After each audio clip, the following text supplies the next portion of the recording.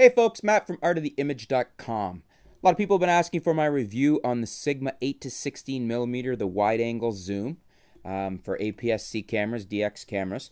And um, so I've had it for a little bit now. You've probably seen the unboxing video I have up here on the Art of the Image channel. And so I thought I'd give you some insight, my, my kind of review to this point of uh, what I think of it.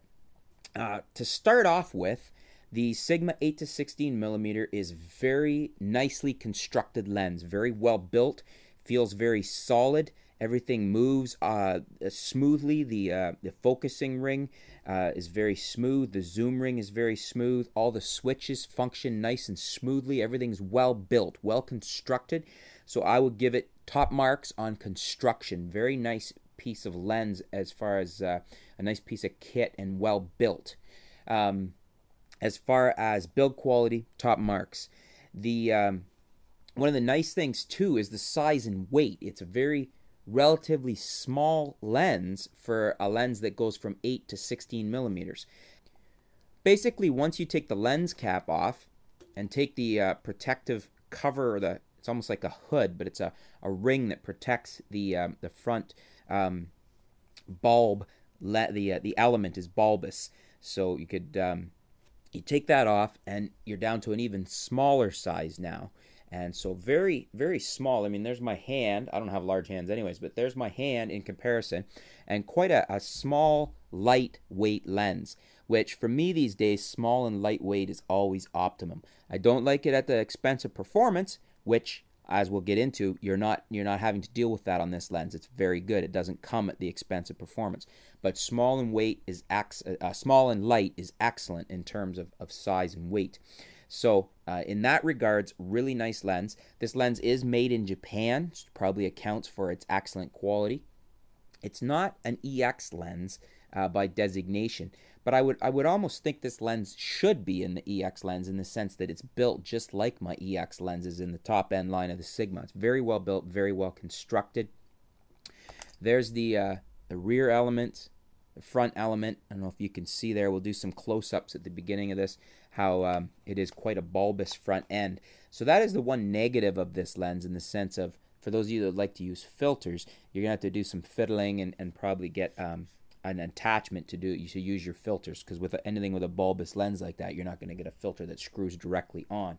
Um, and this uh, uh, hood look like looking attachment that actually protects the lens is threaded. So you could put filters on that, but the problem you're going to run into with this, and I've seen, is when you go ultra wide, this is starting to uh, vignette and starting to show up in the photo. So, so far, I've been very impressed with the Sigma 8 to 16 millimeter from what I've seen. Uh, it works very well. I've mostly shot it on my D7000 and I've shot it some on my Nikon D90 as well. Um, it's quick to focus, it has accurate focus. Uh, as I mentioned, the size and weight are great. It's been a joy to work with on the 7000 and on the 90. I'm very happy with the image quality so far. It's very sharp uh, and looks very good. The 8 millimeter is really nice in terms of how wide you can go on this. Obviously, this is about the widest zoom you can get right now. We have the Canon 10 to 22 millimeter available. Both versions of the Sigma 10 to 20 millimeter, the f3.5 EX version, and the variable aperture 4.5 to 5.6 version.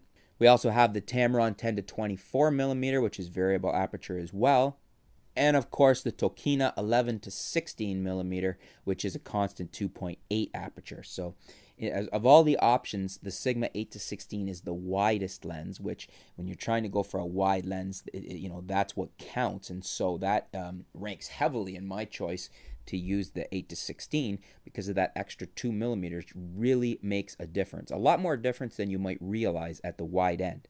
So, overall, Shooting experience has been very good. I'm very happy with the lens. Performance has been good. The size and weight, very nice. And um, the price is bang on. It's right in there. It's not much, a lot cheaper than the other lenses, but its performance is probably. It, I, I would think that this the 8 to 16 is probably the best performing lens in this range right now. So again, kudos to Sigma for a really well made, really good performing lens.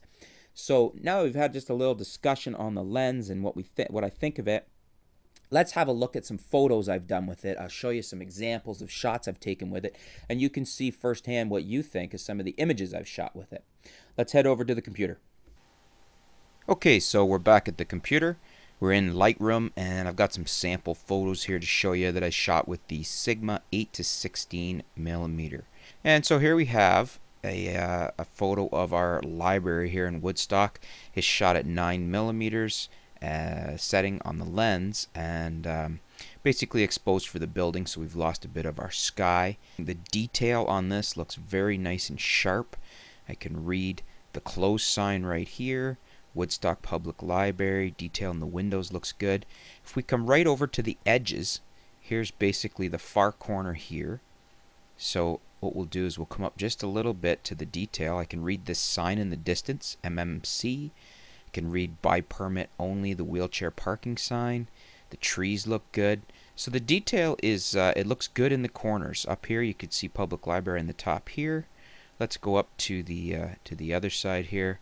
And again, we'll go out to the edges and see and the detail still looking pretty good in the corners. I don't see any mushing of detail or anything like that. So it's looking pretty good that way.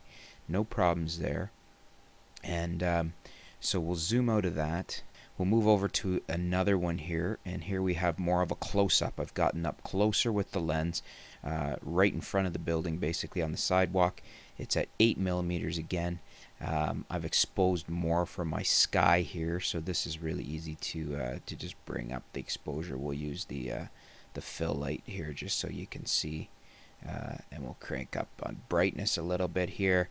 And again, um, we're gonna want to uh, let's come in a little bit here. Let's go uh, let's go one to one and uh, have a look in the corners here and you can see look at that the detail is still nice and sharp you can see the detail in here we can read the detail on that sign the no parking sign this uh, this building um, banner on the other side at the art gallery is very clear and that's up near the corner.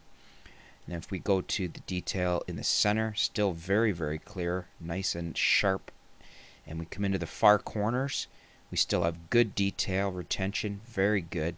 This is something you want to look for in a lens a lot of times is, is the edge to edge sharpness and and this lens the sigma 18 to or 8 to 16 is showing very good edge to edge sharpness here. I'm quite pleased with that and uh, as you can see it looks it looks quite decent. So that is the uh, the Woodstock Public Library up close Move over to the next photo. This is the old courthouse buildings in Woodstock here. And um, what we'll do is we'll zoom right out so you can see the full photo. Here you can see a little bit of the vignetting that happens from using an ultra wide like this. Um, this lens is this uh, setting here on the lens is at 8 millimeters again at f4.5. Um, just to show you what you can do in uh, in um, Lightroom here, the lens corrections, you go to the profile and you can just hit enable profile corrections and it automatically will pull up the profile if it has it as you can see it did here.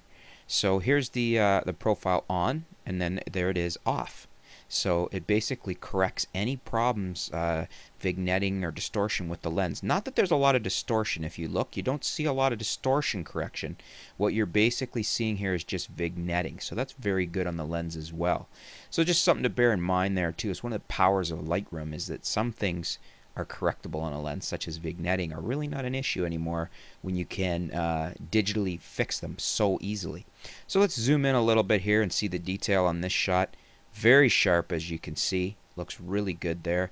We go out to the sides.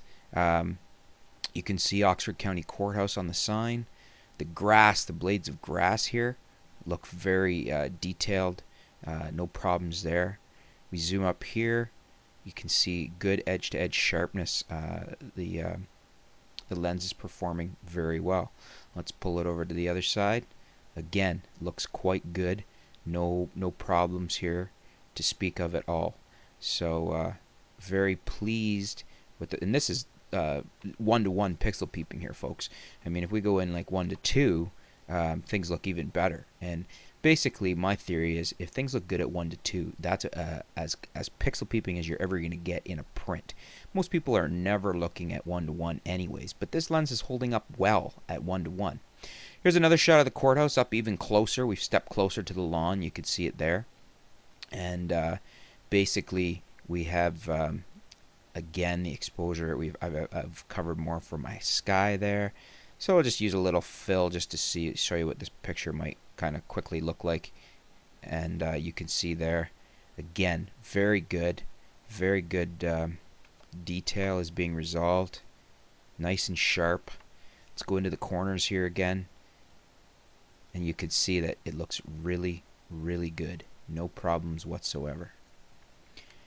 So continuing on you can see that this lens is uh, is performing very nicely. No problems no questions uh, on, on the quality there